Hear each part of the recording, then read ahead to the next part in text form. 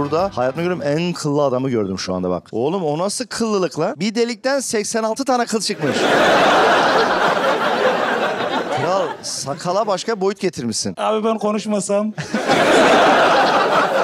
Şöyle de yapabilirsin. Hu, hu, hu.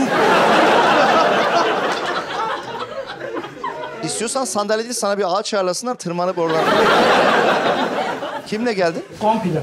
Mikrofona konuş. Bak bizim zamanımızda bu artık insanın kullandığı bir şey. Muz gibi düşün. en azından konuşuyor.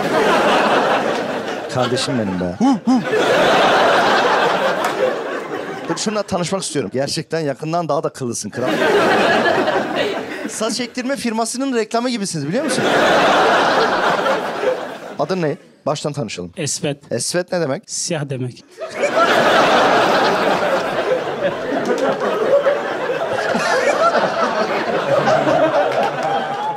Siyah mı demek gerçekten? Siyah demek tabii. Hani sana siyah koymaları çok şerefsizce. Ya hedeflemişler yani.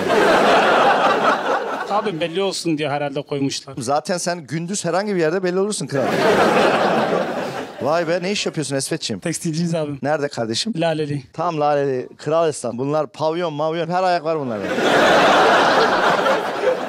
Adın ne hayatım? Büşra. Çok sempatiksiniz. Öncelikle uzaktan onu söyleyeyim. Enerjiniz direkt böyle salonu yükseltiyor öyle söyleyeyim. Hayvanlık yapmayın. O anlamda yükseltiyor demedim.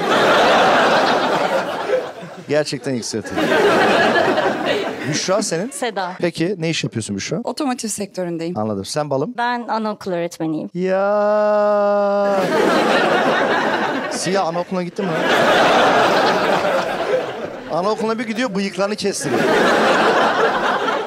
Ben sana konserveti veriyorum. Beş kişilik konserveti veriyorum sana. Gidin o konseri s**in. Son ilişkiniz size neyi öğretti? Hiçbir şey öğretmedi. Bebişko şu. Bunu tutuyorum saçlarını tutuyorum. Evet direkt saçlarımı tuttum. Kapatmaya çalışıyorum. Ha ne memelerini mi? Evet. Rahat ol hayatım onlarla kapatamazsın.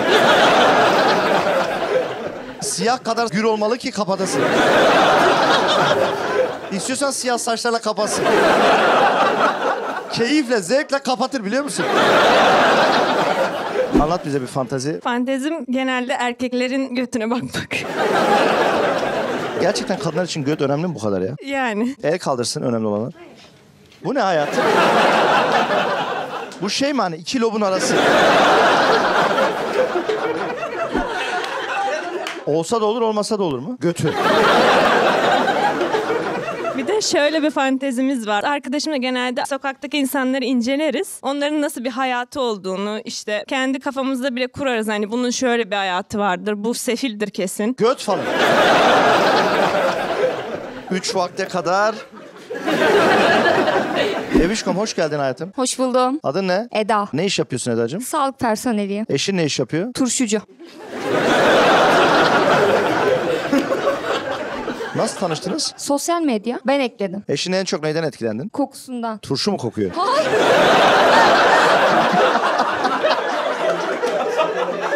Şu kadar güzel bir kızın sirke kokusu ayarlanacağı iş aklımın ucuna geçmez.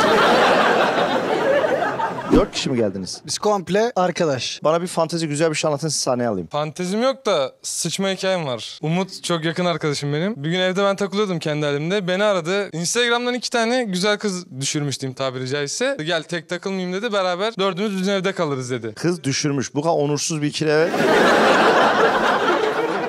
Instagram'dan kızların fotoğraflarını falan gösteriyor bana. Böyle kızlar gayet güzel. İkna etti seni. Yani ikna etti beni bir şekilde. Gittik geminin çıkışında bekliyoruz işte gelmelerini. Gemi boşalmaya başladı. Karşıdan böyle ikili kızlar geliyor. Kanka bunlar mı diyorum. Yok bunlar değil diyor işte. iki tane daha güzel kız geliyor. En son gemi tamamen boşaldı. Karşıdan iki tane kız geldi. Fotoğraftakilerle alakaları yok. Ama o da arkadaşımın yavşaklığı yüzünden. Ben ne yavşak oluyorum şimdi?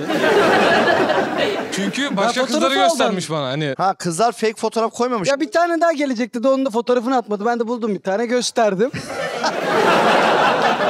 Şerefsiz bak kendi güzelle buluşacak. İkincisi güzel değildir diye buna götünden fotoğraf uyduruyor.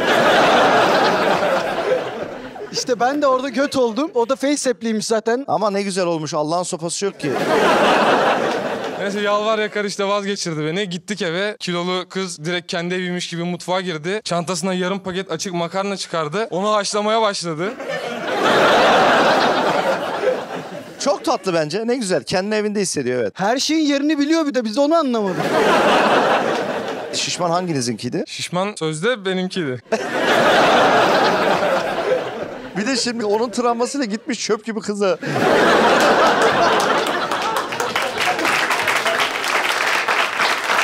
Muhtemelen o kızın yediği makarnanın bir tanesi kadarmış. Ya çok aşağılık bir adamsın ya yemin ediyorum. Öyleydim. Evlendim artık. Evet. Kız bir de makarnayı pişirdi. Büyük kaseye koydu oturu tek başına yedi hepsini. Hiç yer misiniz falan yok yani.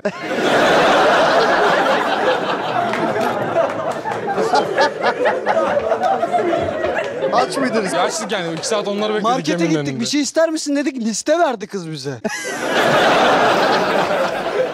Hayır dur. Evet. Markete gideceğim dedim hani. Buna diyorum ki kanka diyorum sen de gel benimle tek gitmeyeyim. Çünkü acıktınız değil mi? Acıktık. Çünkü ikram etmedi. Gel diyorum beraber gidelim. Umut baktı bu gece ekmek çıkmayacak. Ben yatıyorum dedi gitti odaya. Odanın kapısını kilitledi. Ben kaldım kızlarla salona tek başıma. Ona çok sinirlisin değil mi bu arada? Ben içimden nasıl sövüyorum? Annesi annem gibidir bir annesine sövmedim. Adı neydi kral? Murat. Murat abi alkış.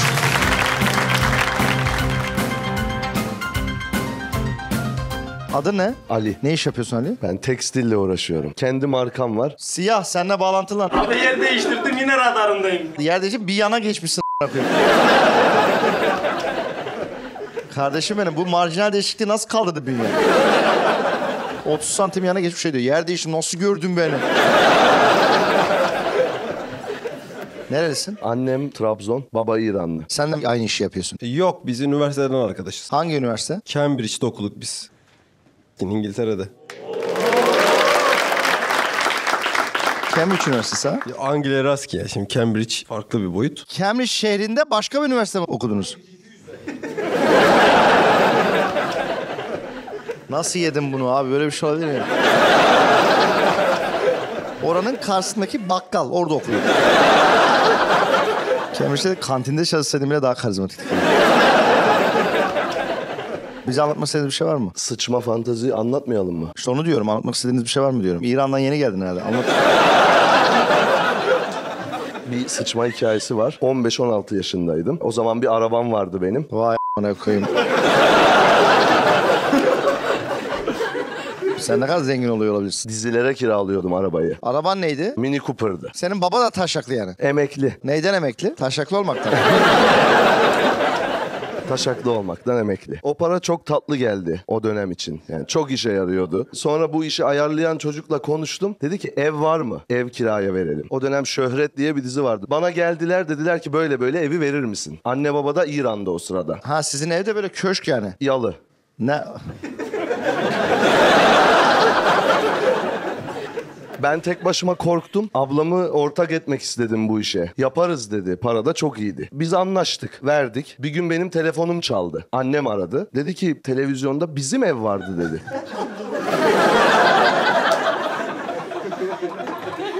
Olur mu canım öyle şey? Ne demek istiyorsun dedim. Nasıl olur ki falan. Sen eşyaları da kullandırtıyorsun baya. Yani ne istiyorlarsa. İyi anneyle babayı vermemişsin. Yatak odası yasaktı. Geri kalan her şeye müsaade ettim. Çok korumacısın kardeşim. Sonra baktık ki annemle şey edemeyeceğiz. Ona da söyledik. Dedi ki bütün parayı bana vereceksiniz dedi.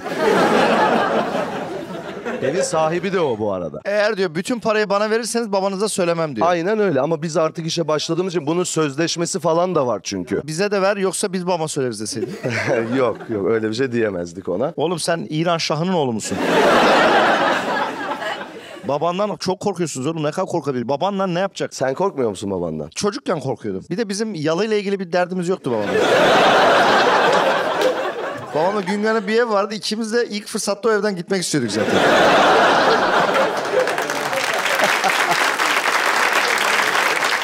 İç sesini dinleyip de yaptığın en saçma şey. Abi ben cevap vereceğim ama yayınlanmazsa yani komik olduğunu düşünüyorum. Hemen mikrofonu ver. Yayınlanmayacak değil mi? Ona göre anlatacağım. İnce ayrıntısına kadar. Seni göte getirecek şeyleri yayınlamayacağız. Abi şimdi şöyle biz izin alınması gerekiyor. Bunu yapamayız diyemiyorum. olması gerektiği gibi düzenliyorum ve işlemleri yapıyorum. Oğlum yapıyorum deyip şimdiki zaman konuşma. Öyle yaptım ettim. Peki. Dili geçmiş. Anlamıyoruz. a**ına Sanki senin normalde rutinin buymuş gibi anlaşılıyor. Yok rutinim değil. Ha. Neyse işte bir bakıyorum aa Bakıyorum değil. Bir baktım. Türkçe'nin a**ına koyayım. Baş almayayım da sıkıcı bir hale geliyor. Ben olduğu gibi yaptığım şekilde devam ettim. İyi o zaman yayınlamayacak bir şey yokmuş. Yayınlamazsan çok mutlu olurum. Yayınlama abi. Sence benim şimdi olur mu senin mutlu olup olman? iyi bir insan gibi görünüyorum kanka. Ben Ali kadar iyi bir insan. Kardeşim çok güzel hikayeydi. Çarpını kime veriyorsun? Abi ben kimseye vermek istemiyorum.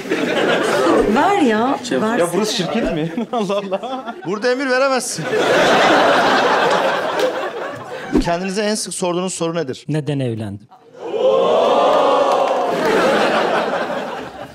Peki cevap olarak ne söylüyorsun? Bu arada yani eşimle bir alakası yok bu durumun yani. Kimle alakası var? Kayınbabanla mı? Benimle alakası var. Ben rahat bir adamım yani takılıyorum eşim bir şey demiyor ama ister istemez iki tane çocuk var eve dönmen lazım. Saatte sınırlaman lazım. Oo. Hüseyin çok sempatiksin lan. Teşekkür ederim. Oradan yürüyor musun? Yarıyor mu işine? Ya ben daha çok samimiyetimden yürüyorum diyebilirim. Ben dinlemeyi falan çok seviyorum. Çok saçma sapan bir şansa bile şey yapıyor musun? Diyorum.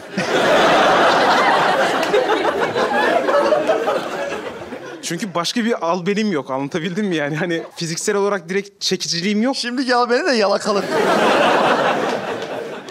Gelir gelmez aldım vallahi. Yalnız kimseye vermediğim çarpıyı alabilir miyim? Var zor günler için sakladım. Hasancan çarpıda sahtecilik yapıyor ama ya. Bu nasıl şaka koymuş? Ali yakıştı mı sana? Hayatında en çok neyin tekrar etmesinden sıkıldın bebişko? Aynı tarz erkeklere karşılaşmaktan. Aldatılmaktan falan değil mi? Ya aslında hiç aldatılmadım. Aynı tarz dediğin ne? Aynı karaktersiz. Aldatılmanın dışında karaktersiz özelliği ne erkeğin? Evli olmasın.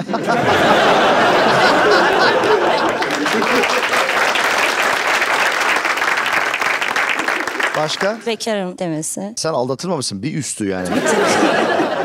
Ama sen bad boy seviyorsun muhtemelen. Bad boylar da böyle çıkıyor değil mi? Evet genelde. Hüseyin gibi birini bulsan Yani Yüzüme bakmaz ki.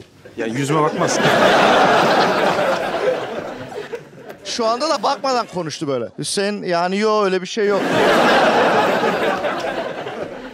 Sen de. Umut'un yalanlarını kapatmaya çalışmaktan bıktım. En son benim yüzümden ilişkisi bitti yalanını kapatmaya çalışırken. Nasıl oldu? Evde yatıyordum ben bir gün aradı beni. Kız arkadaşlara takılacakmış. Başka bir kız arkadaşı var o zaman. Sen de gel dedi. Ya oğlum sen hep böyle ırz düşmanı mısın ya?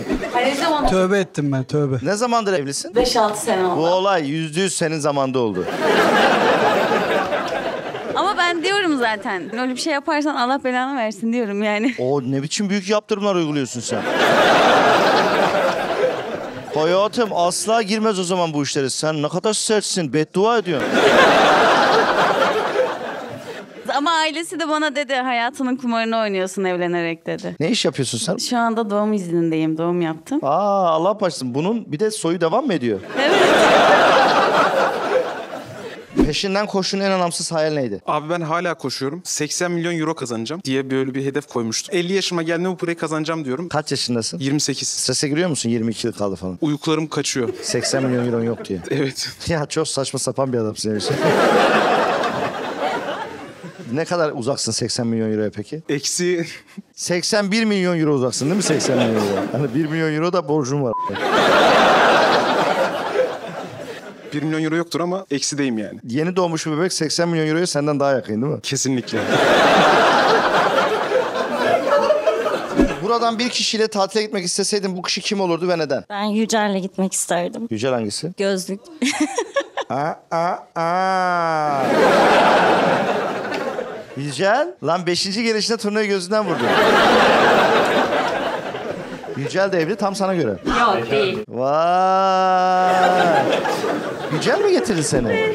Sen flörtünü mü getirdin? Alakası yok. Kendisi İstanbul'da yaşıyor. Ben Ankara'da yaşıyorum. Ama kanka daha güzel olur biliyor musun uzak mesafe? Daha önce evlendin mi hiç? Evet. 18 aylık bir kızım var. Yenge nerede? Eski yenge. Yeni yenge burada da. O da Ankara'da yaşıyor. Bir yan binamda oturuyor. Bence Hüseyin'le bu şey olur. Ve akıllıca da bir seçim yapar. Güzel de bir evlilikleri olur. Hüseyin kim? Hüseyin diyorum. Yüce. Ben diyorum ben bu hikayenin? Hüseyin üzgünüm. Hüseyin çok istedim ama rakibin çok çetin. Herif taşaklı da bak. Bu şimdi bad boylarla çıka çıka artık iyi insana hasret duyuyor. O herif de iyi ve zengin. Parayı da seviyorum dedi. Bütün işlemler yüceli gösteriyor. Sen hem zengin değilsin hem iyi misin o meçhul. Bir de borçlu. Bir de memelerim var.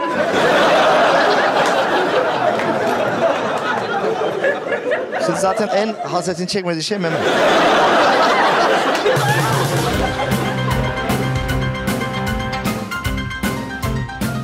Sizi çok seviyorum. Eyvallah!